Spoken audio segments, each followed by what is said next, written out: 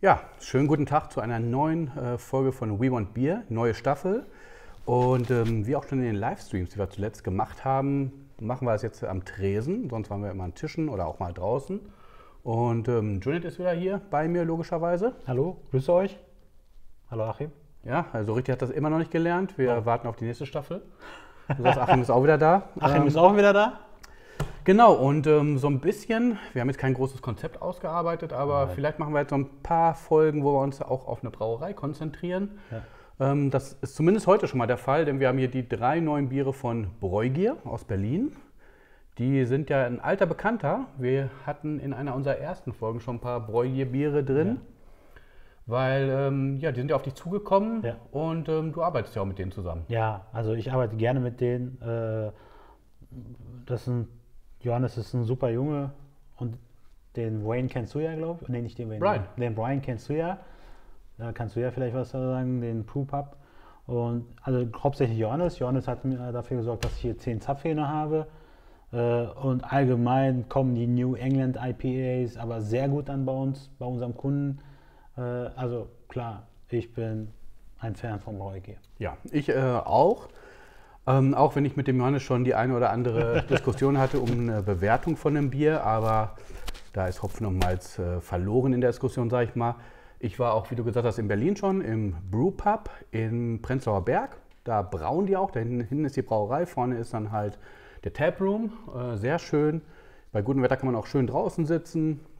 Ist auf jeden Fall eine Empfehlung wert und dann natürlich schön frisch gezapftes Bräugier. Wir haben hier die Flaschen, aber wie Jonathan ja auch schon gesagt hat, äh, zehn Hähne, äh, da ist auch öfters mal das ein oder andere Braugier vom Fass dran. Äh, Bräugier, nicht Braugier. Ähm, ja, und, und wir haben noch ein Zusatzbier heute hier Von Duke. von äh, Dukes, Dukes Red Ale. Botschaft, Red Ale. Genau, also heute ausnahmsweise halt 3 plus 1 plus noch was. Plus noch was. Und zwar muss ich an Christian Pries, das ist ein treuer Zuschauer, auch mittlerweile ein guter Freund, mit dem werden wir auch demnächst hier Whisky- und Bier-Tastings machen. Also mal was ganz anderes. Und äh, weil jedes Mal fragt er, was ist mit Whisky, was ist mit Whisky? Christian, das ist meine letzte Flasche. Die hatte ich von ihm geschenkt bekommen. Einen super Whisky, den habe ich jetzt hier solidarisch, äh, kollegial verteilt.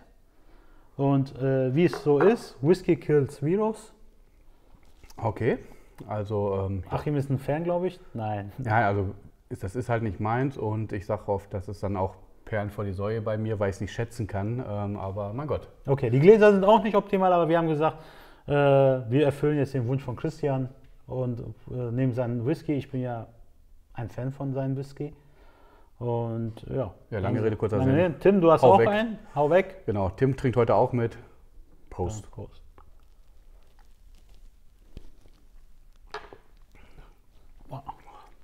Lecker torfig. Ist auf jeden Fall sanft. Also ist jetzt nicht scharf. Ja, also ich sehr viel. Also eigentlich wäre das was für dich. Du magst ja so Rauchbiere. Also so ein Rauch, Torf, Aroma. Also den kann ich zumindest trinken. Also wie gesagt, der ist halt nicht. Oh, jetzt kommt eine kleine Nachschärfe. Ähm, ja, ist halt aber nicht meins, ehrlich gesagt. Aber ich sage, also einer war okay, ähm, aber ich kann es, glaube ich, nicht schätzen. Okay. Guck Aber mal. vielleicht bringt der Christian mir das mal bei. Nicht, dass wir demnächst statt Bier auch mal Whisky haben. Du, ich habe ja auch schon Gin-Tasting gemacht und Oh. habe ja auch ein Faible dafür ähm, entwickelt.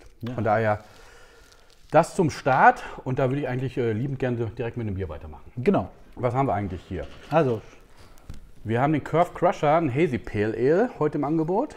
genau, das ist bewusst ein Pale mit wenig Alkohol. Ziel ist es halt, dass man eigentlich ein, eine Flasche mehr konsumieren kann. Da bin ich mal gespannt, wie der Geschmack ist. Noch nicht probiert. Dann haben wir äh, ein Niper, Rest of Pie. Ja. Pi, ganz interessant. Pi ist ja Pie? Ja, Pi, Pi genau, oder Pie. Pi oder Pi ist ja der äh, 3,14. Äh, und wenn man das umgedreht, 14, oder 14.3. ist ja der Lockdown, wo wir alle runtergefahren haben. Und ich dachte schon 14,3 Prozent. Das wäre cool. Und das letzte, der Grenzstein 309b. Da So. gibt es bestimmt auch eine Geschichte zu. ja klar, das ist das westlichste Grenzstein der Bundesrepublik Deutschland. Deswegen ist es dann auch ein West Coast IPA wegen West. Genau, stimmt. Und, äh, und das ist irgendwo an der holländischen oder niederländisch-deutsche Grenze. Gut, und dann haben wir noch das Düx. Das, die sind aus Köln, glaube ich. Die sind aus Köln, da gibt es auch, Red ich, genau, ein Red Ale, da gibt es auch eine, die haben auch eine Gasche Düxer Botschaft oder so, ich weiß nicht, bin mir nicht so sicher. Aber mh, das hat auch der Johannes mitgebracht, weil er ursprünglich wohnt er in Köln. Und äh, nach Whisky, Red Ale, Also be beginnen wir jetzt mit dem Red Ale und dann Sollen wir ge- jetzt- gehen wir auf die Bräugiers. sollen wir jetzt dunkel haben? Ja, okay. Wir fangen mal wirklich mal, wir überspringen mal, wir fangen mal jetzt mal ganz anders an. So. Das ist ordentlich durchgeschüttelt.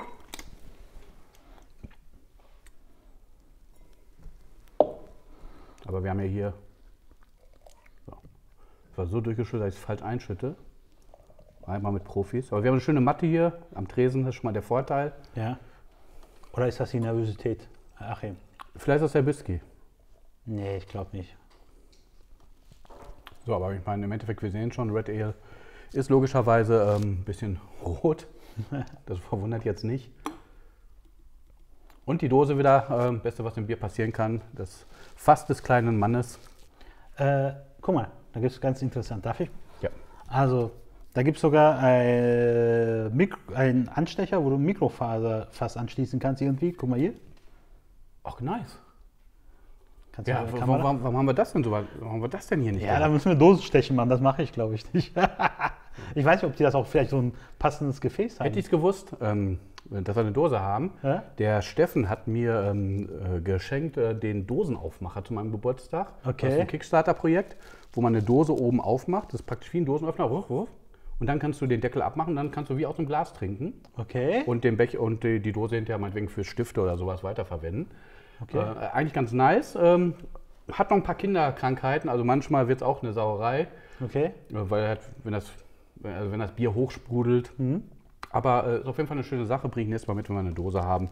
Mhm. Dann können wir uns das auch angucken. Sind die Ränder, glaube ich, nicht mehr scharf. Ich hoffe nicht, dass nee, die die unscharf. Kinderkrankheiten. die sind total unscharf. Okay, also, okay. Nicht, dass die Kinderkrankheiten dadurch sind. Nee, nee, das ist total, ähm, das ist schon ganz gut von der Technik. Okay, okay. Das wird so rausgepresst, nicht rausgeschnitten, Okay, interessant. ähm, weil der Deckel ist ja auch reingepresst. Und ähm, bringe ich mit, ähm, Mhm. Okay. zeige ich dir und zeige ich auch ähm, den Zuschauern dann gerne mal. Ja, ich bin mal interessant. Jetzt aber kommen wir zum Red Ale. Ja. Wie die Farbe da schon sagt, Rot. rot. Also, Schaumbildung interessant. ja, Schaumbildung war ja schon in der Dose stark. Ja. Ja. Übrigens, was sagst du zu meinem Bart? Finde ich sehr gut. Und wie finden die anderen das? Die finden das auch sehr gut. Ja, genau wie sie meinen Bart mal so gut finden. Ne? Also deswegen kann ich das nachvollziehen. Also, äh, Achim ist schuld dran. Achim hat ja so einen ganz interessanten Wiedererkennungswert, sein Bart. Ich finde den übrigens ganz cool. Obwohl, anders kann ich mir ihn nicht mehr vorstellen. Du hast mich aber so kennengelernt, ne? Genau. Ja. Ich kann mir das nicht anders vorstellen. Deshalb. Ich kenne ja aber Bilder auf Facebook, Ja. wo du anders aussiehst. Und zwei Jahre hat er dafür gebraucht. Nee, nee, eigentlich ging es ja relativ schnell. Es waren halt acht Monate, glaube ich, auf die Länge. Ja? Und seit, seit und jetzt habe ich ihn seit zwei Jahren, mehr oder weniger, oder seit knapp über zwei Jahren. Aber halt den ja konstant auf der Länge, weil der wächst einfach auch nicht mehr. Okay, Also du okay. kannst den jetzt nicht wachsen lassen und dann wird er irgendwie länger. Irgendwo stoppt das, wahrscheinlich aus Genen. Wie ist die Pflege denn eigentlich vergleichbar? Jetzt, also wenn ich jetzt vergleiche, jetzt, ich muss mich eigentlich öfters rasieren. Ich habe ja nur hier, hier und äh, wie ist es vergleichbar bei dir? Also ich meine, das ist schon, äh, man unterschätzt halt. Ähm, also wenn du nichts machst, dann wird er halt sofort wuschelig. Also mittlerweile wasche ich den jeden zweiten Tag, mit, Okay. wirklich mit, mit Bartshampoo. Okay. Da können wir auch nochmal einen Plug machen äh, mit dem Bartshampoo vom, äh, vom Bastian aus äh, München. Okay. Ähm, äh, Bastians Oil. Nee, Bayers Oil, Entschuldigung. Bastian Bayer ist der Name und Bayers Oil heißt das, bei, äh, das bayerische Öl. Also Bayer mit E geschrieben. Ähm, packe ich auch in die äh, Shownotes unten rein. Auf jeden Fall halt ein guter Kollege aus alten Foursquare-Zeiten. Ähm, hat mal Vertrieb in, für Foursquare in Deutschland gemacht und hat sich irgendwann mit Bartpflegeprodukten, also sich hat einen Bart wachsen lassen, selbstständig gemacht. Ähm, Für genau. dich oder war das Zufall jetzt? Der, der war schon vorher am Start. Und ähm, da habe ich halt, wie gesagt, also mit dem seinem Shampoo Okay. wasche ich den wirklich. Und dann habe ich mittlerweile ein Glätteisen. Um den halt zu glätten, weil sonst wird er halt halt so ein bisschen kräuselig und dann nicht mehr so schön. Und dann musst du den wirklich glätten und rein theoretisch müsstest du das, glaube ich, sogar jeden Tag, wenn nicht gar jeden zweiten Tag machen. Und das ist mir dann auch schon ein bisschen viel Aufwand. Du glättest dein Bad. Ja. Es gibt auch extra Badglätteisen. Warum ist mir das nicht eingefallen als Wirtschaftler? Eine Marktlücke. Du, also, also wo dann an sich viele denken halt, ist easy, du kannst, du sparst jetzt rasieren, hast halt einen anderen Driss. Also ich finde das Bier eigentlich ganz lecker, Auf jeden Fall. Es ist, um's mal, um mal wieder hier zur Sache zu kommen. also es passt wirklich, also wir haben es wirklich gut hinbekommen, hinbekommen. Whisky, torfig und jetzt so dunkel. Und äh, ja, Ich feiere ja schon die Dose alleine wegen dem Anstechpunkt. Das finde ich halt schon, schon eine geile Idee. Wo ich mich frage, warum sind die andere schon auf die Idee gekommen? Und wenn sie da auch noch irgendwie so ein, ähm, irgendwie so ein, so ein, Anstechteil dafür noch äh, als Merchandise verkaufen, ist so witzig. haben die glaube ich auch. Musst du gucken. Ich bin mir nicht sicher. Da steht auch drauf. Genau zielen und Mikrofass anstechen. Ist auch schon witzig geschrieben. Also gucke ich mir auch gerne mal in Köln an. Bin Das ist wiederum der. Beweis, dass das ein kleines Fass ist. Ja. Viele sind ja da immer skeptisch und äh, sagen, eine Dose, hm, ob das richtig ist oder falsch. Aber hier ist es eigentlich, sieht man schon. Schmeckst du jetzt irgendwas besonders raus? Also ich finde es super, ehrlich gesagt schon. Ich schmecke aber, also es, ich schmecke jetzt nichts Besonderes raus. Was jetzt, wie gesagt, nicht schlecht ist, weil ich es echt gut super finde. Du kannst es runtertrinken. Also man kann das super runtertrinken. Ähm, also Karamellmalz höchstwahrscheinlich. Drei verschiedene Malze laut äh, Etikett. Ja, ja. Deutscher Aromahopfen. Mhm. Kalista und Hüll Melon. Übrigens, die hatten auch einen Kölsch. Fruchtiges Geschmackserlebnis. Hast du noch nicht das Kölsch? Nee, da war ich mir unsicher, ob ich das Kölsch besorgen sollte, weil wir sind mitten im Ruhrgebiet, Kölsch. Ja, du kriegst ja sogar Kölsch in, in, in ähm, Düsseldorf mittlerweile. Okay. Das findest ja immer Liebhaber. Also, ich weiß, was ich gebe. Also, du weißt, Hm? also ich gebe 3,75. Ich gebe dir 3,9. Perfekt, super. So, knipsen wir. Stell's mal runter, damit wir gleich schon mal die drei Bräuge hier präsentieren können. Und check es mal ein. Mhm.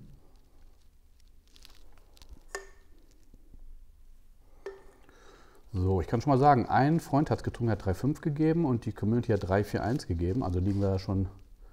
Nee, nee, nee, warte, warte, warte. Er hat das Falsche genommen. Barcode hat mich aufs Kölsch verwiesen.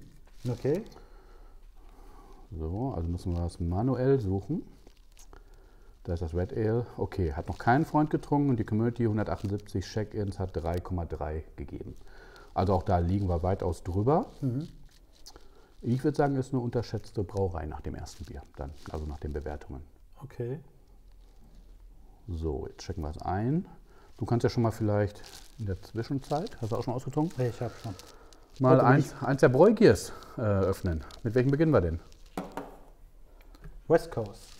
Habe ich mir gedacht. ich bin gespannt.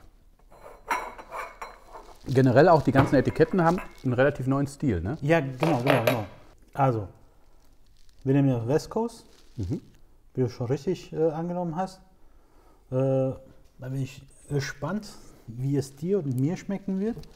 West Coast IPA ist ein bisschen spezial. Ich glaube aber, ja, der Achim steht auf West Coast. Ja, und ähm, generell die, die Labels haben die halt relativ ähm, komplett neu gestaltet. Was ist relativ äh, komplett neu gestaltet?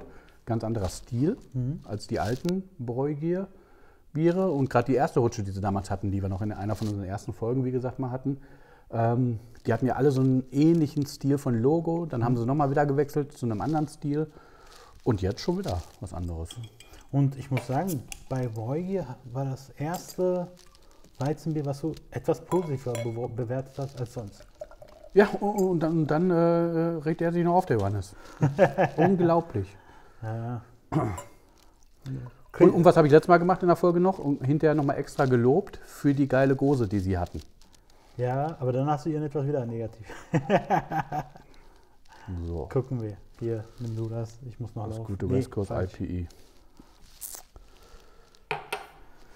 So, also wie wir ja schon gerade gesagt haben, West Coast IPA, Grenzstein 309.5 ist ja bewusst. 309B. Hä? 309B, nicht 5. Okay, 309b, Entschuldigung, B wie Bertha, ist äh, das westlichste Grenzstein Deutschlands. und äh, grenzt zu den zu Niederlande oder Holland. Holland oder Niederlande. Mhm. Ja, Hat 7%. 7 Prozent. Wow. Riecht ein bisschen süßlich, finde ich. Sehr blumig. Das ist wahrscheinlich für mich süßlich. Wir wissen ja, meine Nase ist nicht die stärkste. Also ich finde es interessant. Ich würde sagen. Prost. Probieren wir. Prost.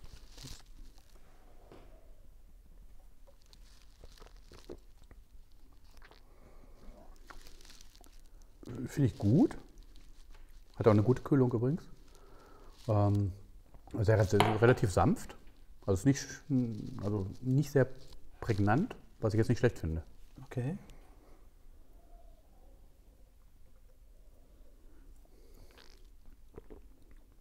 Kannst halt auch super wegtrinken.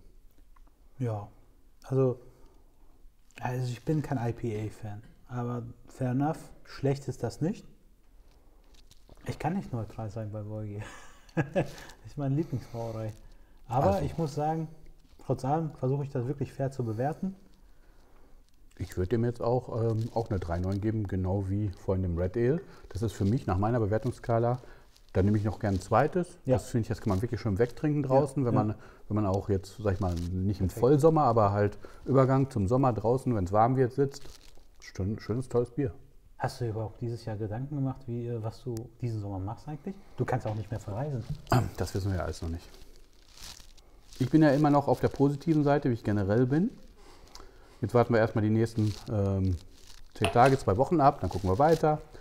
Ich habe auch noch nicht storniert mein, mein Flug nach Estland. Eigentlich wären in Estland ähm, äh, zwei Konferenzen wären da gewesen. Die sind schon logischerweise abgesagt, wie die meisten. Ich habe den Flug und das Airbnb aber aufrechterhalten. Und ähm, man kann es ja immer noch stornieren, weil ich erstmal positiv an die Sache rangehe, wenn sich noch was ändert, Situation im Griff ist. Die wird nicht hundertprozentig safe sein, ist mir auch klar. Da muss man abwägen. Und dann überlege ich mir das. So. Ich gebe dem eine 3,9, habe ich ja gerade schon 3,9. gesagt. 375. Auch wie gerade. Ja.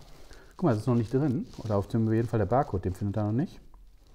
Aber unter Grenzstein wird ja wahrscheinlich nicht so viel sein. Nein. So, da haben wir es. Ein Freund hat schon eingescheckt. Wie viel insgesamt? Der Andi. Ähm, insgesamt 30 Check-ins. Oh. Der Andi hat dem eine 4 gegeben.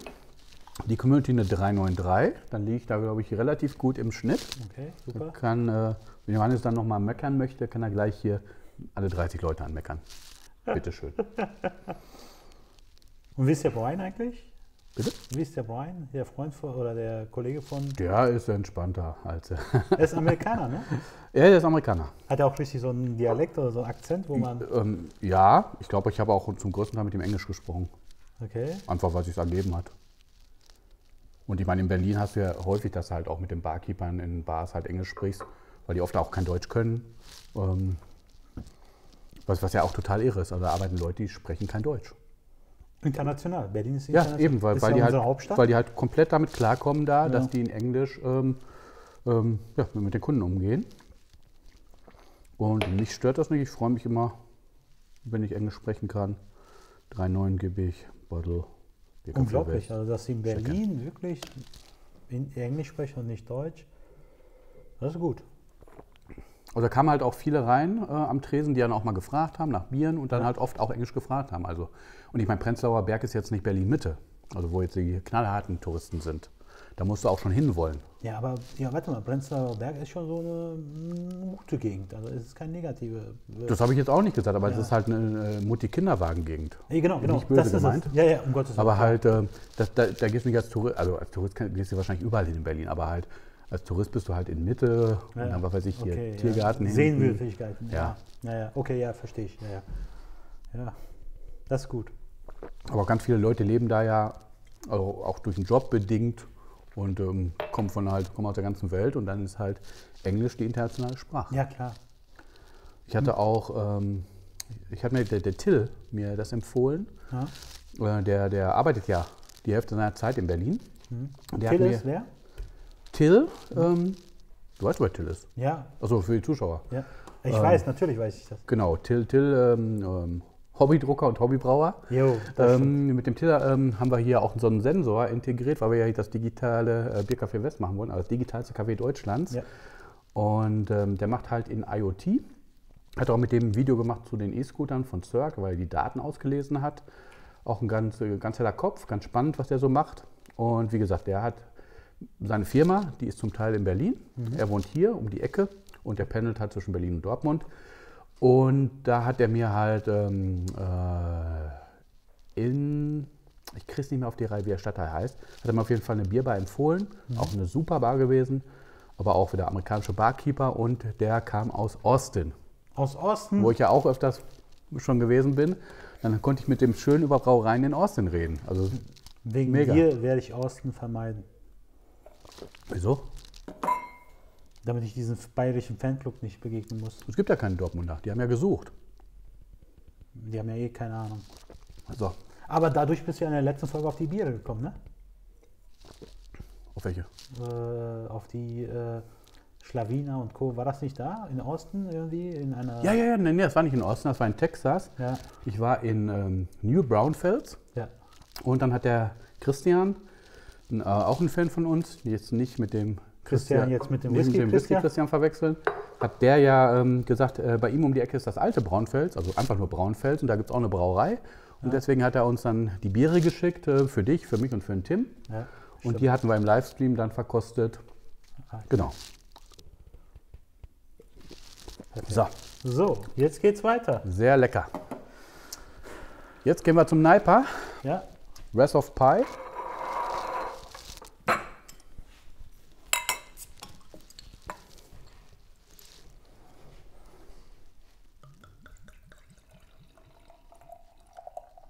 Also, die haben das ja äh, Word auf Word, was heißt Word nochmal? Auf Pi? Res, Zorn. Zorn? Der so. Zorn, der Zorn des äh, Pi. Also das heißt, äh, das ist Pi ist ja ganz einfach, hatten wir schon gerade angesprochen. 14.3. und wenn man das umdreht, äh, hat ja, ist ja 3,4. Im Englischen wird das ja anders ausgesprochen, glaube ich. Drei im ersten Monat, dann das, der Tag. Mhm. Und äh, ja, ich finde, es trifft jetzt genau aufs Thema Zorn. Also es zeigt einfach, dass wir verwundbar sind. Also dass es einfach nicht so weitergehen kann, immer so, wie wir das immer vorstellen. Und äh, ich finde schon, dass wir nach der Pandemie irgendwie allgemein, du und ich, auch allgemein, auch Tim bestimmt, anders hervorkommen werden. Also, und das Bier ist auch ganz besonders. Jetzt passt auch zum Thema, wenn wir jetzt hier links. Ist ein, ich glaube, die hatten bis jetzt kein Bier mit Haferflocken. Kann das sein? Das kann sehr gut sein. Ja, ja. Haferflocken sind ja jetzt nicht unbedingt Ja, ja. so oft. Ja. Und das jetzt mit Haferflocken? ja. Hat 6,5 Prozent übrigens. Gerade mal nachgeguckt. Mhm. Also, ich finde das schon interessant. Ich glaube, Breugi hat sich auch verändert, auch mit dem Logo allein. Äh, wichtig ist auch, dass die auch hoffentlich durch die Krise gut kommen. Also aus Solidarität habe ich auch die Kisten gekauft und versuche das jetzt auch an den Mann zu bringen. Und wir trinken das erste Mal jetzt, ne? Mhm.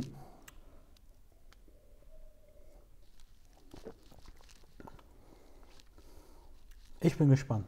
Also Achim und ich haben ja wirklich immer verschiedene äh, Bewertungs. Also du bewertest es wirklich anders. Und äh, ich werde jetzt einfach nicht sagen, ich bin neugierig, was der Achim dazu will. Ich finde das, ich mache mal wieder eine neue, einen neuen Begriff, flachfruchtig. Hammer, ne? Also so flachfruchtig, also nicht so, äh, dass es heraussticht. Flach, ähm, ich finde es jetzt nicht so super duper. Also ich finde das, ähm, das West Coast IP weitaus besser. Ja, habe ich mir schon gedacht. Du magst es ja auch, wenn das so herbe ist.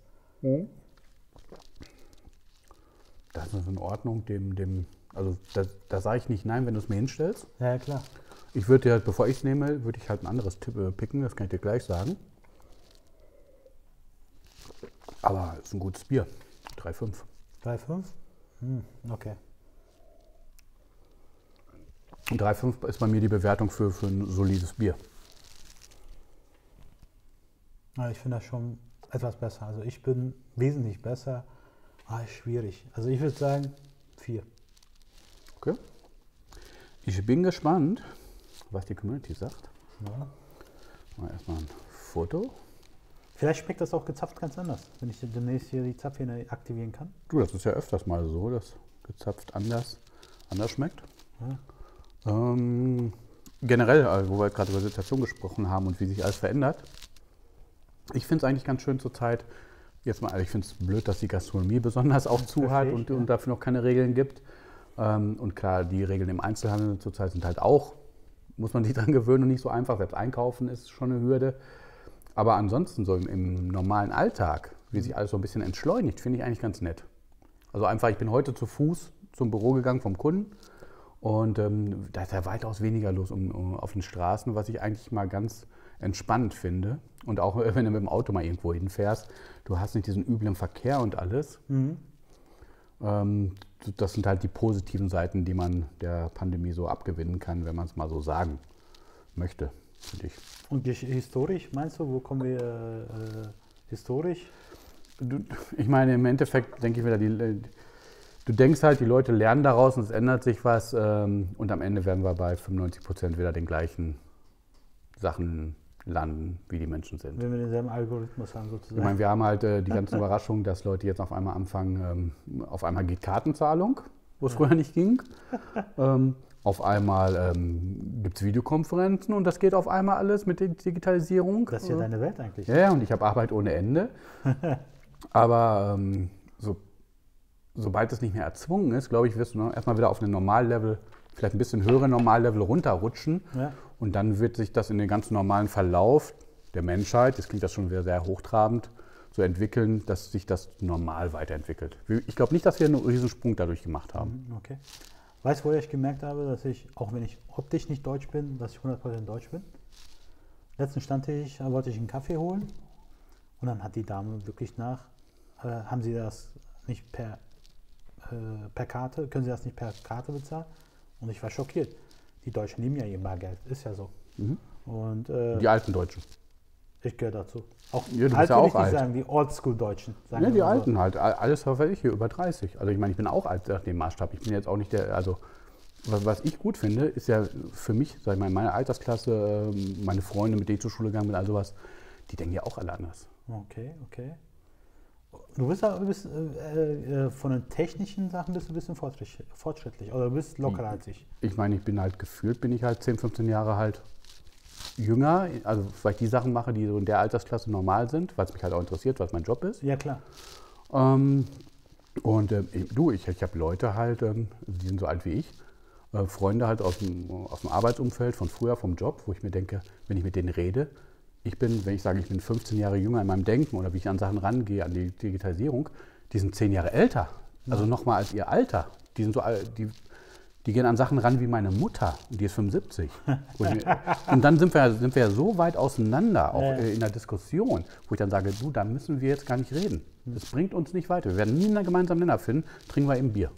Also ich muss sagen, in gewissen Punkten, nicht in, in vielen Punkten hat wirklich Achim mich verändert, äh, die Freundschaft und äh, ich denke jetzt anders. Äh, äh, ich finde die Digitalisierung so oder so, meine Abschlussarbeit habe ich ja über die Digitalisierung geschrieben, aber du hast halt den FE, den Feinschliff gegeben, muss man sagen und äh, das finde ich halt cool. Ja. Das Bier ist übrigens weitaus besser bewertet, als ich es gemacht habe. Das ist jetzt keine Überraschung.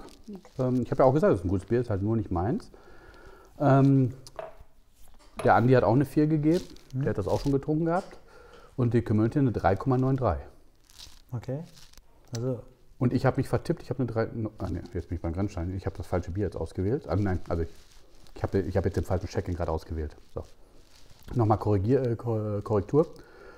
So, der, der Andi hat eine 4 gegeben und die Community hat eine 4.23 im Schnitt auf 34 Check-ins. 34 Check-in. Okay. Das ist schon äh, echt eine so, super solide, gute Bewertung. Da wird Johannes sich freuen. Ja. Ähm, also im Schnitt eine 4,23. Da ist nichts falsch gemacht. Und da macht meine 3,5 dann eben auch keinen Unterschied, weil es halt ein Schnitt ist. Ich habe auch gerade schon mal das nächste Bier aufgemacht. Sind ja nicht zum, Vergnügen hier.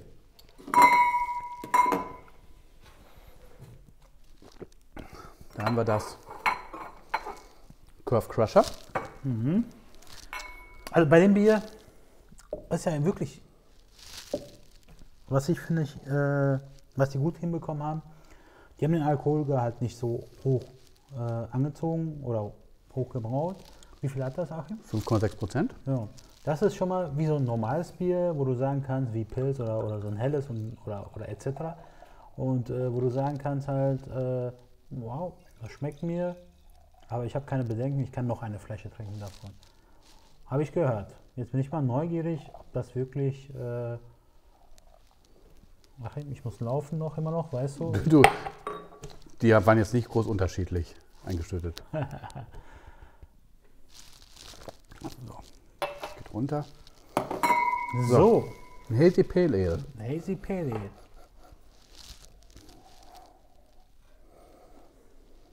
So, die schlechte Nase riecht jetzt nichts Dominantes raus. Ich rieche auch nichts Dominantes. Trüb, also sehr trüb. Ja, natürlich. Also das sieht mehr so wie so ein Orangen- oder Ananassaft. Ananassaft. Ja. Achim, ich kann nicht mehr. Prost. Prost.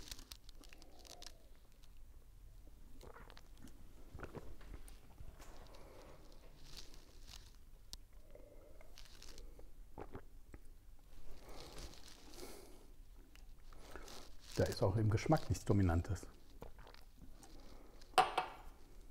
Also ich finde, meine Meinung ist, dass die das Bier gut hinbekommen haben für die Jahreszeit. Weil die wissen genau, wenn die Biere brauen, auch wie das aromamäßig halt intensiv sein muss. Und für die Jahreszeit ist das ideal. Mhm. Also ich bin Also ich finde das auch lecker. Ich finde, das ist ein super Sommerbier, wenn du mich ja, fragst. sehr solide. Gefühlt, ich meine, wir haben es als letztes aufgemacht, deswegen steht es natürlich jetzt hier schon ein bisschen und wir haben halt auch die Lichter. Äh, Lichter. Ich fände es wahrscheinlich besser, wenn es noch kühler wäre. Das stimmt. Halt, wenn man, das, wenn man halt im Gaumen diese Kühle da noch kriegt, als Nachgeschmack. Äh, Hier Bergmann hat zum Beispiel jetzt das Kellerpilz, was, Okay. ich, was ich richtig gut finde. Mhm. Und wir hatten das geholt äh, in der Stäbehalle. Und ähm, dann war es halt warm, mehr oder weniger, weil wir es nach Hause gebracht haben. Ähm, haben Steffen und ich das schnell ins äh, Eiskühlfach gepackt Okay. und rausgeholt, kurz bevor es gefroren war, gefühlt. Cool. Und das war so, also das war so perfekt und so kalt und so geil. Ähm, wie, also richtig hier China-Style, weil China trinken sie eigentlich schon Eisbier, die schmeißen auch gerne mal einen Eiswürfel rein. Okay. Das fand ich richtig gut. Und da habe ich wieder gemerkt, dass halt auch wirklich die, die Kühlung auch total viel ausmachen kann. Ja, klar. Also äh, bei dunklen Biere kenne ich mich ja so ein bisschen aus. Äh, ich weiß, bei dunklen Biere, umso wärmer die werden, ich glaube sogar in England oder teilweise in, du bist ja auf der Welt unterwegs, werden auch die dunklen Biere halt bei 11 Grad gezapft oder irgendwie so in, den, in der Richtung. Ja, ja, aber also eher, eher warm als kalt. Genau, eher warm als kalt. Aber ich finde, äh, kann man darüber reden, das ist eine Philosophie für sich, äh, ob man das Bier bei 4 Grad trinkt und dann leicht erwärmen wird auf 11 Grad, äh, weil man kann durch diese Erwärmung halt, äh, kriegt man immer einen ganz anderen Geschmack, immer einen ganz neuen Geschmack. Und nur bei denen wird das natürlich nicht funktionieren. Jetzt bin ich mal gespannt, Achim. Also ich habe, wenn ich den West Coast äh, IPA, was halt eindeutig, kann ich jetzt schon sagen, mein Favorit ist, eine 3,9 gegeben habe und den eine 3,5, dann landen wir auf jeden Fall dazwischen. Ich glaube halt, dass es nochmal eine Runde geiler ist, wenn es kalt ist. Dem würde ich eine 3,8 geben. 3,8, okay. Also ich glaube, da das ja süffig ist am Ende und auch sehr lecker ist äh, und in- auch in der Commu Community bestimmt anders bewertet wird, äh, ich bin bei 4. Wieder bei 4.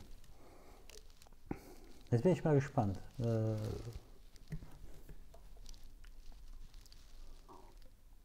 So. Also, einer hat eingeschickt, der Andi. Er hat wahrscheinlich hier geholt, alle drei, ne? ja, genau. Ähm, 3,75. Ja. Wie gesagt, ich gebe eine 3,8. Ähm, die Community 4,18. 4,18.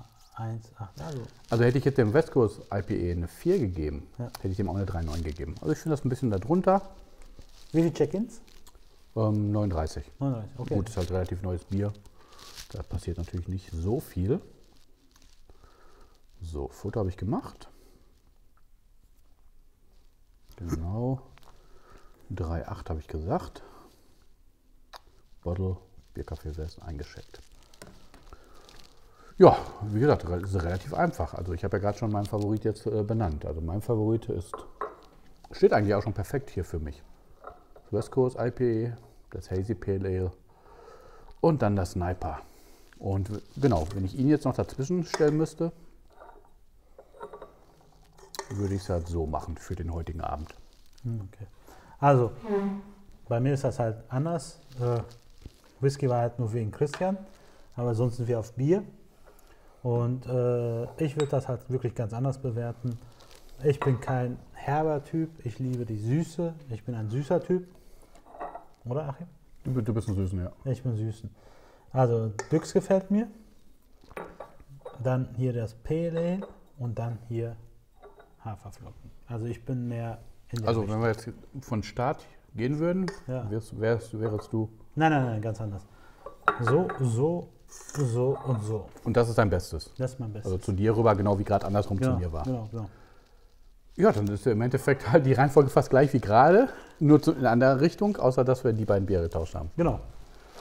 Also bei mir ist ja der, ich bin halt der süße Typ. Okay. Genau. Und ich bin der, der, der, der hopfige und der saure Typ.